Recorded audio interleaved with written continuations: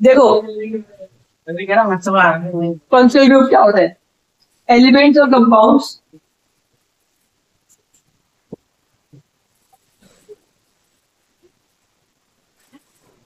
which replace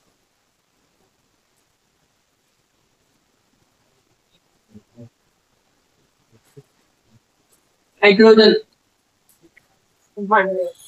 from a hydrocarbon. तो hydrocarbon में से हाइड्रोजन को रिप्लेस करके ठीक है? उस जगह खुद लेते हैं और एक नया कंपाउंड बनाते हैं। उन एलिमेंट और कंपाउंड को क्या बोलते हैं? हाइड्रोकार्बन बोलते हैं ठीक? तो अब लोगों को पाँच तरीके के हाइड्रोकार्बन के बारे में पढ़ रहे हैं। फ़र्स्ट वन है हेलोजन ठीक है? हेलोजन में बेटा कौन बनाते हैं? क्लोरीन फ्लोरीन ब्रोमीन और आयोडीन ठीक है? क्लोरीन फ्लोरीन ब्रोमीन और इसमें प्रेटिक्स मतलब जहाँ भी आपको ना किसी भी हाइड्रोकार्बन के अंदर किसी भी हाइड्रोकार्बन में सी एल एफ़ बी और आई ठीक है? तो हम लोगों को उसको प्रोनाउंशिएट करने मतलब उसका नाम करने उसको नाम लिखने के लिए प्रीफिक्स लगाना पड़ेगा। अगर सी एल होगा तो फ्लोरो एफ़ होगा तो फ्लोरो बी होगा तो फ्लो बी नहीं होता बी आर और आई होगा तो आई ठीक है? देखो एग्ज़ाम्पल की तो सॉल्व है बोले यार समझ में आया? देखो जैसे मानो कि मैंने बनाया पेंटिकल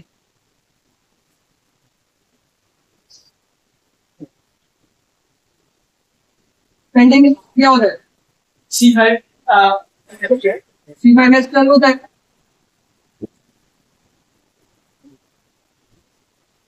ठीक है?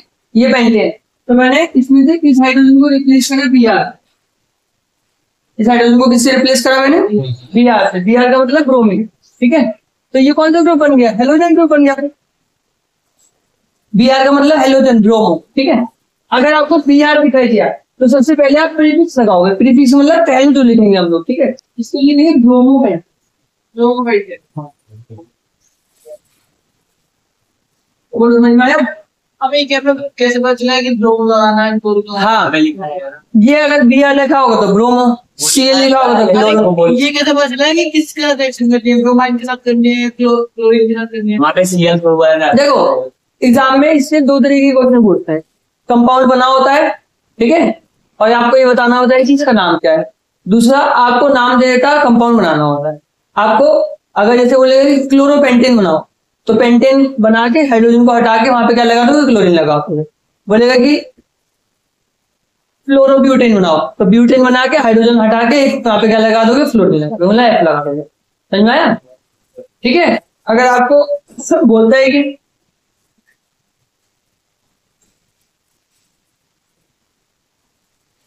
ऐसे बोल देगा आपको। बताओ ये क्या है। क्या है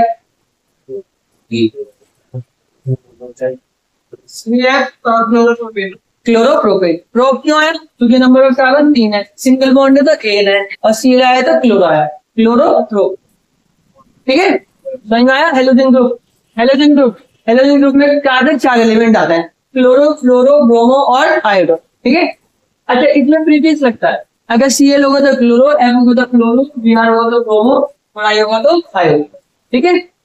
फ़र्स्ट ग्रुप क्या होते हैं? किसी भी हाइड्रोकार्बन की चेन में से हाइड्रोजन को रिप्लेस करने रिप्लेस करेगा कोई एलिमेंट या कंपाउंड उस एलिमेंट या कंपाउंड को हम लोग क्या बोलते हैं? फ़र्स्ट ग्रुप हेलोजन सबको समझ में आया? किसी कोई प्रॉब्लम ठीक। ठीक है? नेक्स्ट एल्कोहल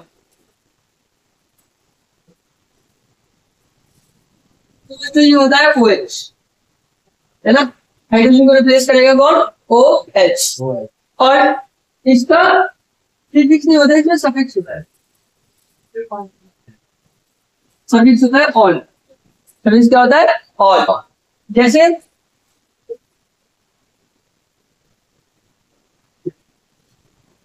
ये बताओ क्या है? ब्यूटेन है ठीक है?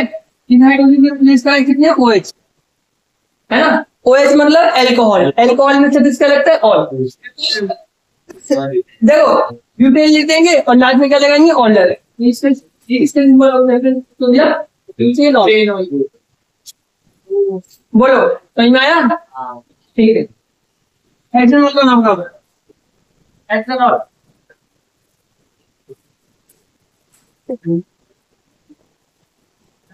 बाकी यहाँ पे क्या कर दोगे आप हाइड्रोजन लगा दोगे समझ में आया?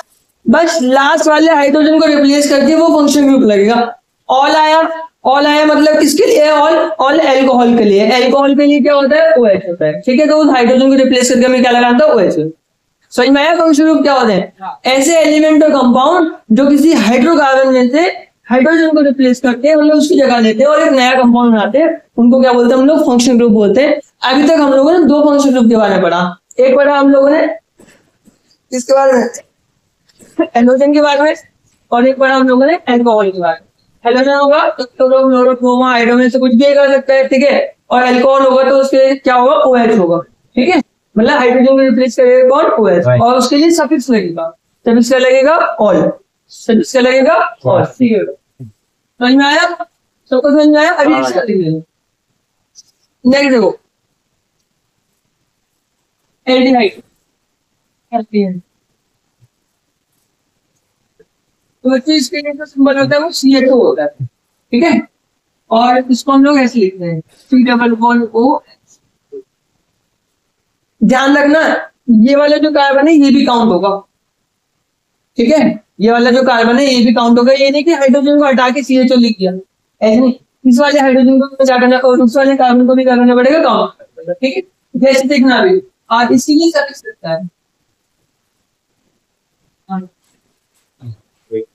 ठीक है? इसके लिए सफिक्स क्या लगता है? देखो।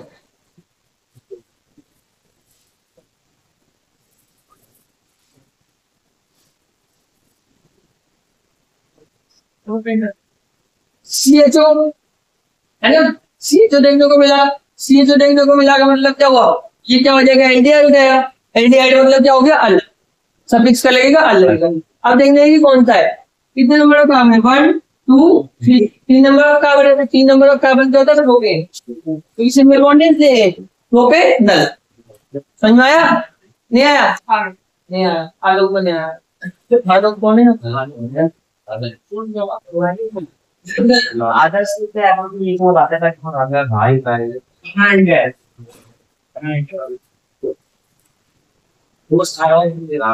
भाई। देखो।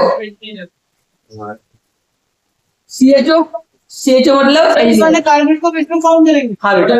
हाँ compound C H O C H O मतलब देखो। जो इससे पहले हम लोगों ने पढ़ा था वहाँ पे सी ओ एल से बन गई। सी ओ एल ठीक है? और यहाँ पे भी यही है लगभग लास्ट में। जी भाई कार्बन है हाइड्रोजन और ऑक्सीजन है। और यहाँ भी कार्बन हाइड्रोजन ऑक्सीजन है। लेकिन फिर हम दोनों को अलग अलग तरीके से पढ़ रहे हैं। अगर बारिश को एक साथ लिख देंगे तो देखो। अलग अलग तरीके से हम लोग इसलिए पढ़ रहे हैं इसको क्योंकि यहाँ पर जो ऑक्सीजन का बॉन्ड है वो हाइड्रोजन कार्बन के साथ ठीक है? एल्कोहल में ऑक्सीजन का जो बॉन्ड है वो किसके साथ में? हाइड्रोजन और कार्बन के साथ। ठीक है? और एल्डिहाइड में जो ऑक्सीजन का बॉन्ड है वो सिर्फ़ कार्बन के साथ। एल्डिहाइड में जो ऑक्सीजन का बॉन्ड है वो सिर्फ़ इसके साथ में कार्बन है। हाइड्रोजन के साथ में नहीं है ऑक्सीजन एल्डिहाइड और एल्कोहल में डिफरेंस जो एल्डिहाइड है उसमें सी एच ओ मतलब सी डबल बॉन्ड ओ और फिर एच कार्बन का हाइड्रोजन के साथ बॉन्ड है और ऑक्सीजन के साथ बॉन्ड है। ठीक है? लेकिन एल्कोहल में ऑक्सीजन का हाइड्रोजन और कार्बन के साथ दोनों साथ बॉन्ड एल्डिहाइड में ऑक्सीजन का बॉन्ड सिर्फ़ कार्बन के साथ। ठीक है? समझ में आया? सी एच ओ जो सिंबल है वो किसका है? एल्डिहाइड का है। सी एच ओ मतलब C double bond O H जहाँ भी आपको देखने को मिलेगा वो किसका होगा? एल्डिहाइड का होगा। एल्डिहाइड के लिए क्या लगेगा? अल लगेगा और एक बात ध्यान सुनो कि जो एल्डिहाइड है एल्डिहाइड के कार्बन को हम लोग काउंट करेंगे। एल्डिहाइड के कार्बन को हम लोग क्या करेंगे? काउंट करेंगे। ठीक है? तो कितने हो गए? एक दो तीन चार पाँच। पाँच मतलब पेंटेन एल्डिहाइड है अल पेंटेनल बोलो समझ में आया? हाँ। पेंटेनल ठीक है? ठीक है? ठीक। अभी चलो एक बार नोट कर लो फिर आगे करो। आगे देखो। मैं देख था इसको भी देखा है। एल्डिहाइड देख लिया ना? नेक्स्ट देखो कार्बोक्सिलिक एसिड एल्डिहाइड समझ में आया? हाँ भाई। ऑक्सीजन कौन मारा है? हाँ। कार्बोक्सिलिक एसिड देखो, जैसे सी एच होता है इसका C double one O O H या फिर सी ओ ओ एच ठीक है? तो लिखते हैं सी डबल वन ओ ठीक है? और इसके कार्बन को भी हम लोग काउंट करेंगे। और इसमें सब सकता है बेटा? है जैसे देखो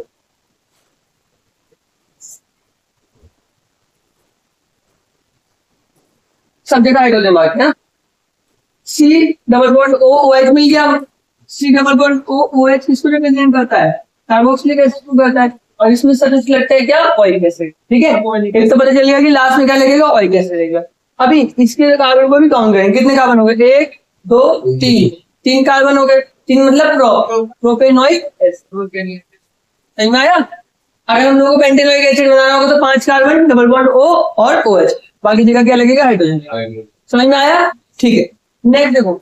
नेक्स्ट आपका एल्डिहाइड एल्डिहाइड हो एल्डिहाइड हो। गया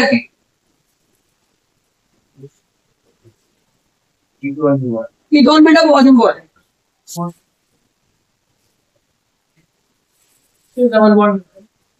सी डबल बॉन्ड ओ अब उस चीज़ का ध्यान रखना यहाँ पर जो कीटोन ग्रुप लगेगा वो बीच वाले कार्बन में लगेगा। मतलब इसके लेफ़्ट साइड में भी कार्बन होगा और राइट साइड में भी कार्बन लेफ़्ट साइड में भी कार्बन होगा और राइट साइड में भी कार्बन ठीक है? ठीक। देखो कीटोन में सफिक्स लगता है और ठीक है? और एक चीज़ से ध्यान रखना first member of ketone family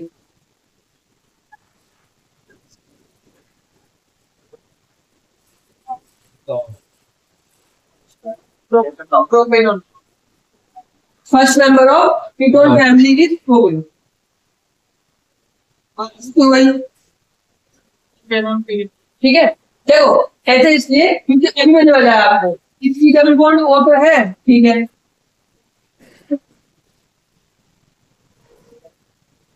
लेकिन लेफ़्ट साइड में भी कार्बन थी और राइट साइड में भी कार्बन थी तो वो पहला मेंबर कौन था? है ना? और डबल बॉन्ड ओ देखने को मिला तो ओन ये क्या हो गया? प्रोपे एक बार नोट लिख लिया बेटा। तो आज हम लोगों ने फ़ंक्शन ग्रुप पढ़ा। एक बार घर पे जाके सारे मतलब एक बार जितने भी डिफरेंट हाइड्रोकार्बन है ना उनसे फ़ंक्शन ग्रुप का यूज़ करके कंपाउंड बनाने की कोशिश करना। नहीं आएगा तो फिर मैं आप लोगों को एक बार और बता दूँगा नेक्स्ट क्लास में। हाँ पाँचों के एक बार हाइड्रोकार्बन के चेक कर लेते ठीक है? और नेक्स्ट क्लास हम लोग आइसोमर्स के बारे में पढ़ेंगे और साइक्लिक स्ट्रक्चर देखेंगे। हाइड्रोकार्बन क्या क्या